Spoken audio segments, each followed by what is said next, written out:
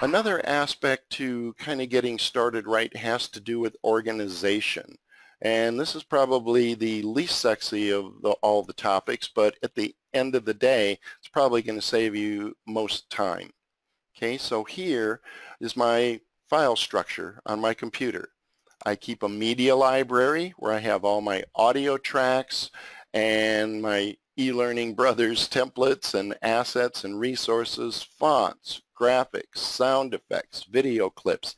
These are things that I use repetitively. Okay, so I keep all that stuff in their own folder. But when I create a video project, let me give you just an example. In fact, on my face, one of my Facebook groups today, somebody posted a picture. This is what someone asked a question, how do you organize your content for your videos? And this particular person, this is what their organization looks like. Okay, everything stored on their desktop.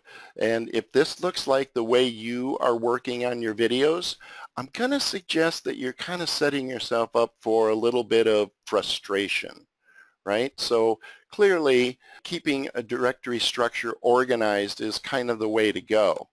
You'll find and I'll kind of open up a bad example here, uh, that when you mix all this stuff together, all of your audio narration files, and here I have my script and my storyboard and my screen recordings and video clips and all this stuff, if you just kind of jumble it all together, then you'll find yourself hunting and pecking and wondering where stuff is. So let me give you a quick suggestion here. I have what I call a master project directory.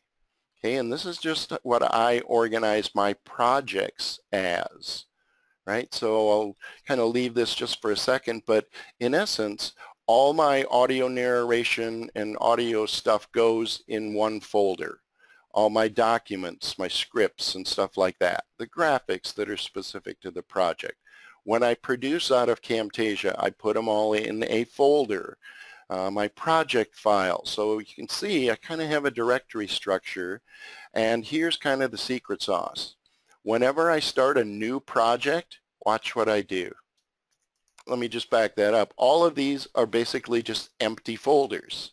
This is a placeholder. It's a master. So watch what I do. I just right click on this and say copy.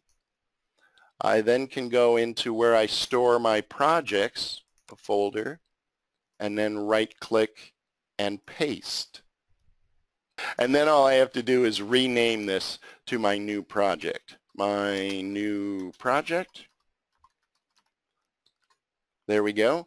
And when I open it up, a whole directory structure that is consistent that I use every time. All my recordings are always here. All my video clips are always here and that's where I start to put the things for my new project. Okay, so hopefully that's a couple of uh, quick little things that are going to help folks out.